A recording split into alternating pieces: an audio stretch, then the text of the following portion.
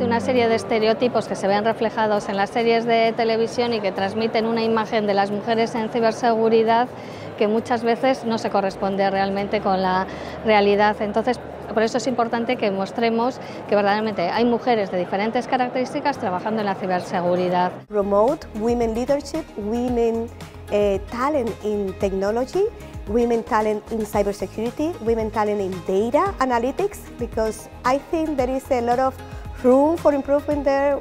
Si te gusta estar un poquito al tanto de las últimas novedades, tanto en tecnología como en organización, a veces industrial, porque no solo es tecnología, la ciberseguridad son muchas áreas, quizás es atrayente porque vas a estar muy motivada a continuar investigando, a continuar formándote.